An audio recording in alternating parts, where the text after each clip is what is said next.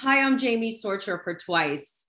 Thanks for joining us today. We are discussing for our special report the launch of THX Onyx. With me to discuss this exciting launch is Jason Fiber, COO and Senior Vice President of THX, and Andrew Mason, Senior Staff Engineer Product Development. Also, THX, thank you both for being here. Happy to be here.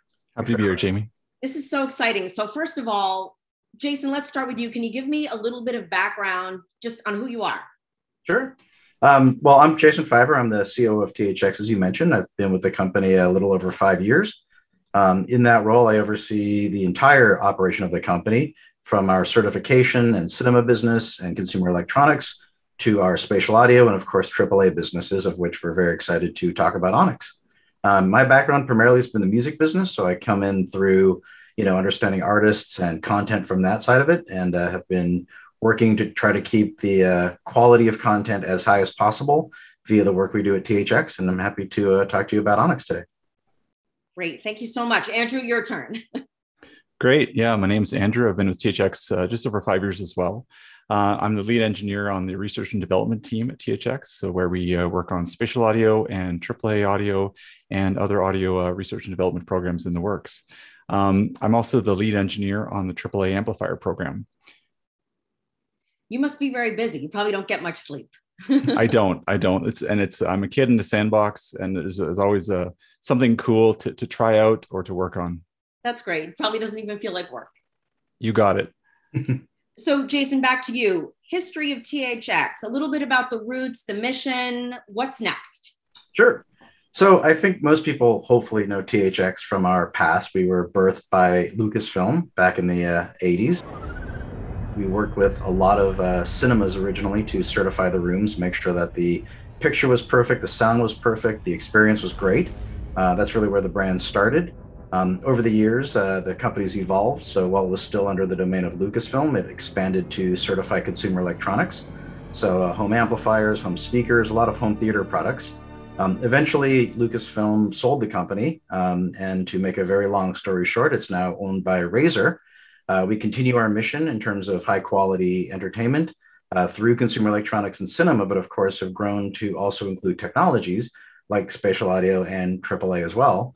And so in the present, we continue our earlier mission, um, but now we're focused on more personal products for personal listening, um, both, like I said, in terms of our THX spatial audio products that are in laptops, mobile phones, uh, and consumer electronics, as well as the AAA program and uh, as you well know, we introduced our first AAA product, which is actually the first THX branded product, the uh, THX Onyx, which is a DAC amplifier. For uh, those who aren't aware what a DAC amplifier is, you connect it to your device and it converts the digital signal to an analog signal and then uh, amplifies it using our custom THX AAA uh, amplifier for the best possible personal audio uh, over headphones and overpowered desktop speakers. What was the catalyst for creating the product? So we saw that we were successful in licensing our AAA technologies to partners, but um, things were moving a little slower than we were hoping. Um, and we realized that the world of high quality audio and portable devices was coming on quickly as a lot of the uh, entertainment streaming media companies were introducing lossless audio and then a high res audio. We wanted to have a product that worked well. And we looked at the landscape of other products in the market and saw that we had something unique that we could bring that elevated the performance and elevated the quality and uh, realized this was the opportunity for us to introduce something that could not only serve as a product for THX, but also as a reference design for those customers interested in doing something similar. So we could preserve the relationships we have with existing customers, but also begin to uh, integrate the THX brand from a consumer perspective as a product, in addition to the certification mark that we've had over the years. Just curious, how long was this in development? the concept stage uh, took a couple of months to, to put together what, what we were uh, trying to accomplish with this. And uh, once we had the concept nailed down, um, we hit the ground running. Uh, it took, took about six months uh, development cycle to develop the Onyx, which is quite fast in the electronics world. Typical other consumer electronics products take, take nine, nine to 12 months to develop. Uh, both Onyx, we had we had done uh, bits and pieces of it uh, so many times for other other partners, other customers, that um, it was just a matter of putting those things together and then doing them extremely well, as as we always try to do. Um, and uh, we had great manufacturing partners to help us accomplish that. And uh, we were able to execute on, on a really solid product. Um, solid physically in the sense of the industrial design is great. The all metal housing is, is very robust. You can, you can take it with you, you can beat on it and you won't hurt it. Um, but also extremely solid in terms of the audio quality itself that comes out of the product and, and the you power. just put up a point that it is geared for on the go. It features this AAA technology, which Jason had spoken of. Tell us a little bit about that. Explain that. Sure. So, uh, as Jason alluded to, uh, every headphone itself is an analog device. It needs it needs a, a powered signal um, with, with significant voltage and current to drive the headphone. Um, but a lot of the typical uh, uh, chip amplifiers on the on the market, whether they're in inside of a phone or inside of Bluetooth headphones, uh, they're not very powerful, so they can't really drive the uh, the headphones that that you would want to listen to, very high quality studio grade headphones with with AAA, um, that is our achromatic audio amplifier. It's the world's most linear amplifier technology. Um, we have the specs to back that up, the measurements to back that up. Um, AAA, how it works and what's unique about it is, is it uses feed forward error correction in addition to feedback, whereas nearly every other amplifier on the market uses strictly feedback. By using that combination, we're able to get extremely low levels of distortion and noise at the output of the amplifier and extremely high output power uh, when necessary. So we can get the best of both worlds, very high output power and extremely high fidelity at the same time. Whereas other amplifier, uh, other, other product manufacturers usually have to choose one or the other and compromise on one of the two. So in other words, if I hear like a Bruce Springsteen song and I want to crank it up, I don't have to worry about distortion at all. That's right. AAA, you can play it loudly and, and uh, you'll get the full dynamics, all the power. It's got more than enough power to spare. Um, but it will also reveal all the uh, delicate dynamics of, of uh, music at lower signal levels or quiet portions of the music or, or, or, classical or jazz or other recordings where it's very dynamic. And not just music, um, a lot of a lot of cinematic pieces, a lot of uh, movies um, have very quiet dialogue portions where there's quiet dialogue or whispering happening. And then of course the big dynamics when, when the action scene starts um, you know whether it's a marvel movie or, or, or, some drama there's there's always that range of dynamics and it's it's it's ever present in in all the the video that we consume uh, netflix movies in addition to to music. We should add it's also a great product for gaming as well. So you know as games are all you know on on screen the audio is an extraordinarily important part of that audio experience. And so one of the things that's unique about Onyx is that it also enables the microphone. And so you can use it as a gaming product attached to your PC, get the best quality audio via Onyx into your headphones, but also continue to use the chat channel the way you would um, with another product. So it really does make a great pair for you know audio for music, audio for video, and of course audio for gaming as well you know, we're seeing that from the gamers. They're, they're telling us, they're giving us feedback that they love the mic feature, as Jason mentioned. They can they can participate in the game chat or or, or Discord chat while they're playing and using the Onyx. And additionally, they they love that love love love the dynamic range. They can turn it up loudly and they can hear enemies' uh, footsteps, distant footsteps, very very faint from far away. Um, and then and then when when the, the bullets start flying, they, they get the, those impactful punches as well uh, that Onyx can deliver. So it can deliver both. So Andrew, why would this be compelling for audio manufacturers if they want to license this technology? Yeah, um, AAA really has, has a, a, a, twofold core offering. One is it enables uh, much higher output power levels. That's that's higher voltage and higher current than than uh, typical chip amplifiers can provide. Um, the other one is it does that with with extremely low uh, power consumption. So you don't you don't necessarily pay a power penalty or a size penalty. AAA shrinks down to a very very small package as as Onyx emulates.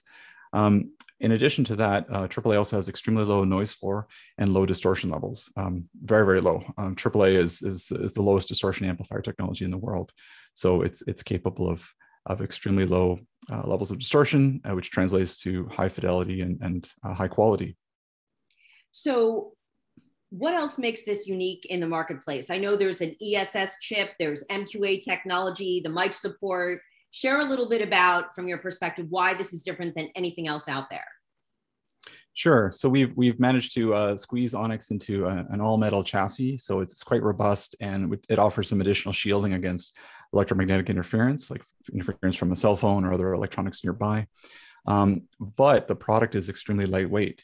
Despite that all metal chassis, we've machined away uh, uh, from a solid block of aluminum, machined the aluminum out from the inside. So the whole thing is extremely light and the weight of it just disappears into the weight of, of the cable coming off your headphones. So you don't even notice it.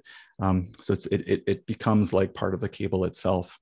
Um, additionally, we have a cable management feature. There's a magnet inside of both ends of the Onyx, so it can, it can loop back and clip to itself, forming a loop. Um, that can be used to manage a, a bundle of headphone wires, um, or it can be used just to, for example, clip Onyx to, um, to a belt buckle or clip it to a, a, purse or some other strap on a bag. Um, so it makes, makes it quite a versatile device. Truly on the go, like we said. Yeah, it is. Yep, and and we're getting feedback from uh, customers as well that they like it that they can use it on the go without a compromise. But when they get home, they can plug it into their PC or their Mac, and it acts like a very very high quality uh, headphone amplifier for that desktop application. So they can use one product to accomplish uh, both feats. So whether it's a powered studio monitors or a powered 2.1 speaker system at your computer, um, Onyx can act like a very high quality digital to analog converter stage and preamp for that system, providing very, very low noise and uh, high fidelity digital to analog conversion for those powered speakers. Okay. All right, Jason, I'm going to jump back to you for a second here. How are entertainment experiences evolving for the consumer? What do you see happening now?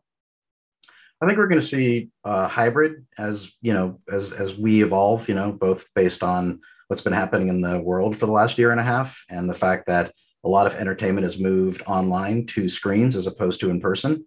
Um, I think there's a significant number of folks that are going to continue to want to receive that entertainment in a more intimate environment but will want the experience of being in a larger group. Um, I think you'll see things like AI and VR um, and uh, AR taking a greater role in delivering entertainment. Uh, and so things like spatial audio and better quality audio will become much more important to be able to give you that sense of realism. And then, of course, the uh, remainder will continue to want the actual live experience, um, you know, where there might arguably be less danger of, you know, um, whatever the danger is, be it you know disease or you know whatever else happens. Um, I do think that you're going to see a lot more of uh, entertainment being delivered at home, and so people will continue to upgrade their home-based experience, be it you know a return to high-quality home theater or return or or simply expanding on the entertainment that they've been receiving on their mobile device, be it their phone, their tablet, their laptop, or their desktop PC. And so I think you're going to want that sense of community and that sense of connection um, and having avatars and the kind of virtual 3D world combined with the power of a spatial audio type experience will be, I think, where a lot of this is headed as we move more and more into a world that's, you know, arguably more um, separate and then sort of pulled back together through technology. So the communal experience of the movie theater, the concert, you think those things may have been permanently changed by Ch- change but not eliminated right? I think you see a lot of um, you know features being added to a lot of these streaming services like you know watch together yes. um, and the ability to you know share entertainment experiences amongst your peer group and potentially amongst strangers but doing it without having to physically be there. You know m- maybe you're not you know maybe you don't want to wear a mask or maybe you're just nervous about being in a public space or maybe you're just tired or maybe you just simply have evolved or um, you know migrated your taste from wanting to be in person but enjoying the sort of solitude of being in a space with you know a few number of people but still wanting to share that. It makes sense. Okay so andrew last thoughts. Anything you want to wrap up with? Yeah just uh, very excited to see uh, the confluence of, of gaming and high quality audio um, really come together and, and, and we feel a product like onyx really enables that um, so it's a great little product, versatile little building block for your audio system. Um, and for the audio lover uh, in, in your life, it's, it's, it's a great gift idea as well. Okay, you know, you make an excellent point. Um, you're probably already thinking about Onyx 2.0. Am I right? Or you can't. We are. We are. We've got a few things uh, in in the works. Uh, nothing imminent though. Okay, well that's exciting. We will be checking back with you for more details on that. Jason, uh, anything you'd like to wrap up with? Some final thoughts. Well, first of all, thanks for having us. You know, we're really excited to have won the twice uh, product award, and so we're really excited to be, you know, uh, receiving that accolade and um, you know shared amongst a number of other great products uh, and other winners. So that's uh, really exciting for us. Um, and as we move forward, like I said, I think you know the combination of great quality audio from a reproduction standpoint as well as an immersion standpoint from THX Spatial Audio is a great combination, and THX will continue to push quality um, as the first uh, important feature with the various products that we both you know that we certify, that we uh, you know collaborate with, and that we make.